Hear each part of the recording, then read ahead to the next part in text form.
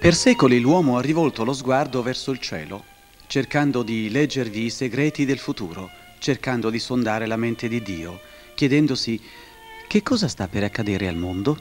Forse la terra sta per essere distrutta? All'Apostolo Giovanni il Signore mostrò in visione la grande battaglia fra il bene e il male. Con il capitolo 14 dell'Apocalisse giungiamo al suo momento più drammatico. Giovanni scopre in visione tre angeli che volano nel cielo proclamando i tre messaggi più importanti della Bibbia. Ed eccoci al nostro studio odierno. Il messaggio dei tre angeli.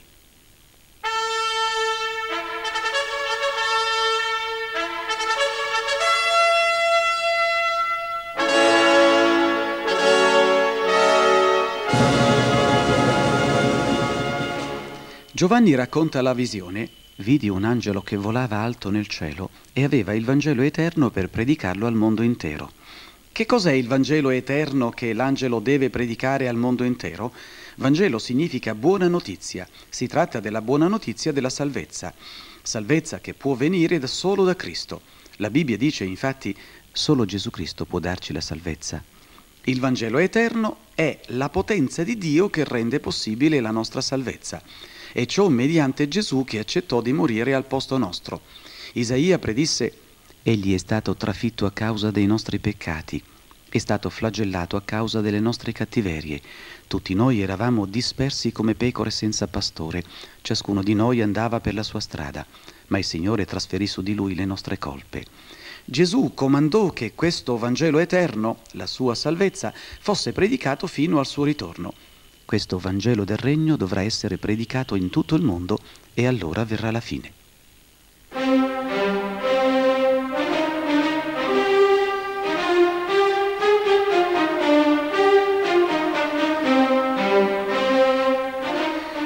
Ed eccoci al messaggio del primo angelo. Temete e glorificate Dio perché il tempo del suo giudizio è venuto e adoratelo perché ha creato il cielo, la terra, il mare e le sorgenti. Innanzitutto il messaggio ci esorta a temere Dio, il che significa essergli riverenti, ubbidienti e leali. Glorificare Dio significa riconoscere a Lui l'onore e il merito per tutti i nostri privilegi. La maggioranza della gente oggi non teme più né glorifica Dio, pone se stessa al centro del proprio interesse. Perché occorre sottolineare il messaggio di Dio creatore e redentore? Perché il tempo del giudizio è venuto. Stiamo vivendo gli ultimi tempi prima che Cristo ritorni. Il giudizio è già cominciato. Quando Gesù ritornerà, il giudizio sarà terminato e verrà emanato il verdetto. Il malvagio continui ad essere malvagio, ma chi è giusto continui a essere giusto. La Bibbia dice, Dio ha fissato un tempo durante il quale giudicherà il mondo con giustizia. Per l'angelo questo giudizio è un evento presente. Il tempo del suo giudizio è venuto cioè è presente. L'angelo continua, adorate Dio perché ha creato il cielo, la terra, il mare e le sorgenti. Qui viene sottolineato il potere creatore di Dio. E in che modo noi possiamo riconoscere e lodare Dio come nostro creatore? Adorandolo e ubbidendogli motivati dall'amore. E per approfondire la nostra adorazione di Dio in qualità di creatore, il Signore istituì il sabato.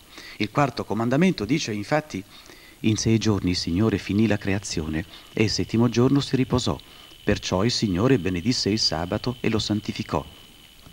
Questo comandamento prescrive di osservare il sabato in onore al Dio creatore. Se lo facciamo, dimostriamo di riconoscere Dio come creatore. Il sabato è il memoriale della creazione, ci ricorda che Dio deve essere adorato per il fatto che è il creatore e noi siamo le sue creature. E riassumendo, il messaggio del primo angelo ci esorta a temere Dio, glorificarlo, prepararci per il giudizio e adorarlo anche mediante l'osservanza del sabato.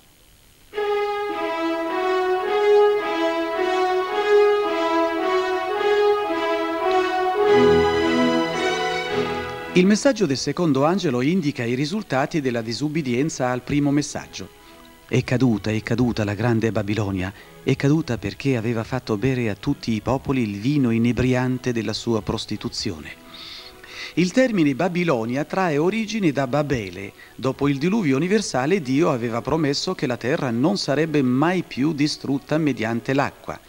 Ma Tempo dopo la gente costruì la torre di Babele per sfuggire alla morte qualora ci fosse un nuovo diluvio. Perciò Dio li disperse mediante la confusione delle lingue. Da allora Babele o Babilonia divenne sinonimo di confusione e ribellione.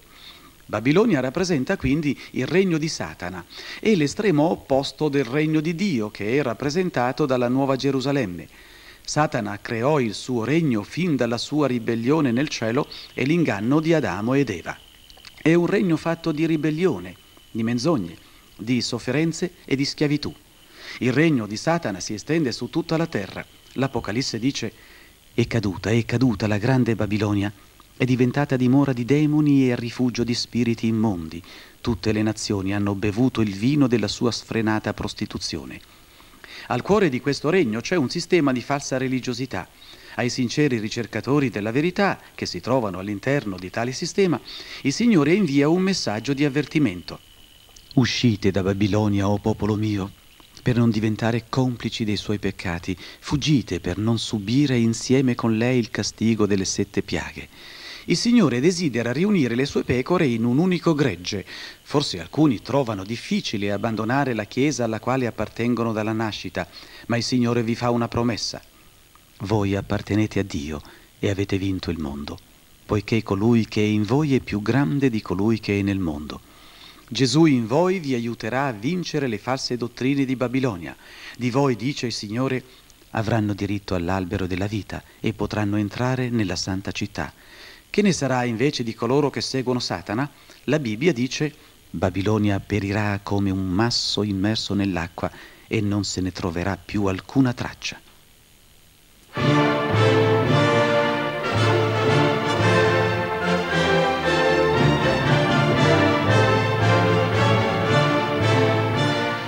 Ed eccoci al terzo messaggio che viene emanato a causa delle condizioni mondiali di allontanamento dalla verità.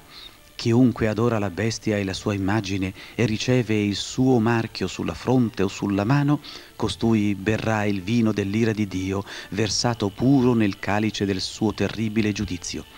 Il messaggio è duplice. Primo, non adorare la bestia né la sua immagine. Secondo, non accettare il suo marchio sulla fronte o sulla mano. Che significa?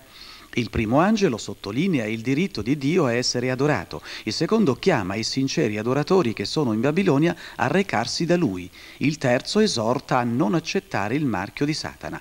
Negli ultimissimi tempi ci saranno solo due categorie di persone, coloro che avranno il marchio della bestia e quelli che avranno accettato il sigillo di Dio. Innanzitutto cerchiamo di capire che cos'è il sigillo di Dio che sarà applicato ai veri fedeli poco prima della distruzione del mondo. L'Apocalisse dice non devastate la terra finché non abbiamo segnato i servi del nostro Dio con il suo sigillo. I servitori di Dio, dice ancora la Bibbia, avranno il nome del Padre scritto sulla loro fronte. Il sigillo di Dio rappresenta il suo potere di creare e di redimere. Coloro che hanno il sigillo di Dio possiedono un carattere trasformato, hanno fede in Gesù e ubbidiscono a Dio. Però, più precisamente, il segno del potere di Dio di creare e di redimere è il sabato. Egli dice, ho dato loro i miei sabati affinché siano un segno fra me e loro. Il sabato è uno dei comandamenti. L'Apostolo Giovanni dichiara, da questo dimostriamo di conoscere Dio, osservando i suoi comandamenti. Trasformati dall'amore di Dio, noi sentiamo il desiderio di ubbidirgli e il suo sigillo in noi consiste proprio in questo, io metterò le mie leggi nella loro mente, le scriverò nel loro cuore. Il sigillo di Dio è dunque un carattere trasformato che prova desiderio di ubbidire a Lui. Quindi il marchio della bestia è un carattere che si ribella contro Dio e contro la sua legge. Uno dei mezzi usati da Satana per allontanarci da Dio è stato il cambiamento del sabato con la domenica. Quando la Chiesa cominciò ad allontanarsi dalla fede degli Apostoli, gradualmente introdusse nel suo credo delle pratiche pagane. Fra queste accettò la domenica, che era il giorno festivo dedicato al Dio Sole. La Chiesa cattolica si attribuisce la paternità di tale cambiamento. Il cardinale cattolico James Gibbons dichiara Potete leggere la Bibbia dalla Genesi all'Apocalisse e non troverete neppure un versetto che autorizzi la santificazione della domenica la Sacra Scrittura stabilisce l'osservanza del sabato.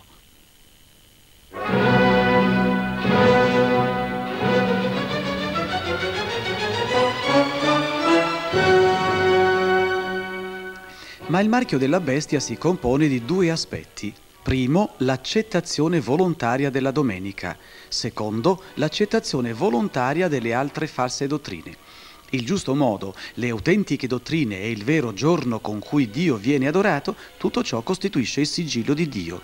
Il modo sbagliato, le false dottrine e il giorno non prescritto dalla Bibbia con cui si pretende di adorare Dio, tutto ciò costituisce il marchio della bestia. Prima del ritorno di Gesù, ogni persona dovrà scegliere se adorare Dio o la bestia simbolica. Allora tutti saranno sigillati, o il sigillo di Dio o il marchio della bestia. Poco prima del ritorno di Cristo, Satana e Babilonia cercheranno di imporre il marchio della bestia simbolica a tutta la gente. Cercherà di imporre a tutti il suo marchio. Satana farà in modo, dice il testo, che tutti quelli i quali non adorano l'immagine della bestia siano uccisi. Ma il piano di Satana fallirà. Infatti, quando il popolo di Dio sarà radunato per essere ucciso, Gesù ritornerà. Giovanni scrive poi guardando vidi una nuvola bianca. Sulla nuvola era seduto uno simile al figlio dell'uomo. Sul capo aveva una corona d'oro e in mano una falce affilata.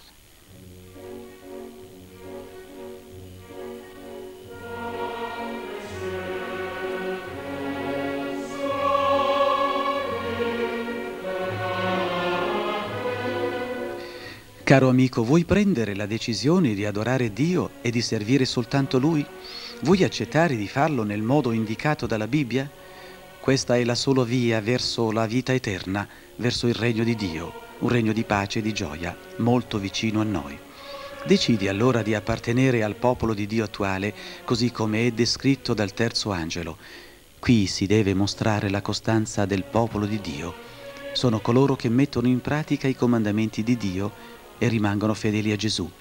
Beati coloro che osservano i suoi comandamenti, perché avranno diritto all'albero della vita e potranno entrare nella santa città.